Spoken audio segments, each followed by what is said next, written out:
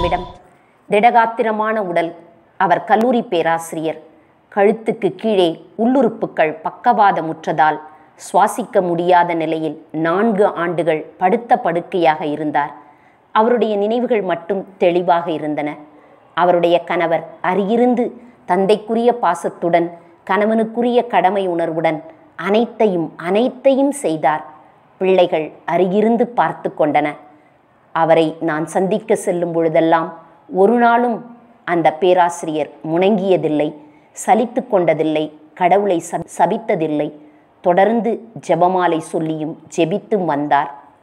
அந்த வீட்டை விட்டு நான் வெளியே வரும்போது அம்மா உமது விசுவாசம் பெரிது என்ற சொல்லுடனேயே நம்பிக்கையுடன் ஆழ்ந்த விசுவாசத்துடன் நான் சென்றிருக்கின்றேன்.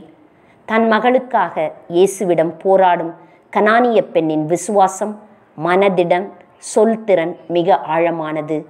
அந்த தாய்க்கு மகள் மீது இருந்த அன்பை சுட்டுகிறது. நோயுற்றவர்களின் விசுவாசமும் அவர்களை சுற்றி இருப்பவர்களின் நம்பிக்கையும் தான் நோயாளிகளை குணப்படுத்துகிறது.